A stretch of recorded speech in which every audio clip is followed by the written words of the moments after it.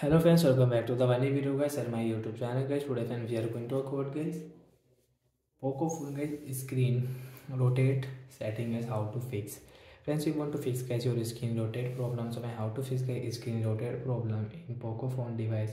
Friends you can see guys when i use any app in my poco phone so friends you can see automatic guys my screen rotate. So friends you want to fix guys this auto screen.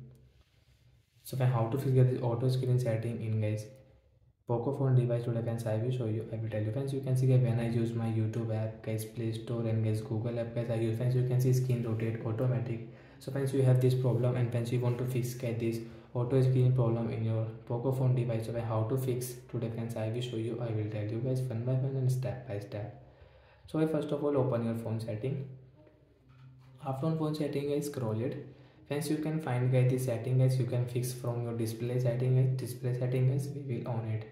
After on display setting first guys you can see dark mode setting. So friends you want to use dark mode you can on and friends you can okay dark mode setting from here.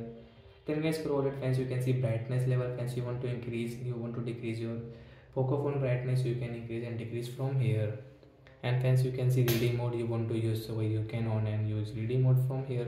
Then guys scroll it friends refresh rate you want to change so you can change. So friends now you can see guys the last guys this auto rotate setting guys is on the right side this icon. Guys you will have to only click this icon guys your problem will fix. Friends you can use guys your google app.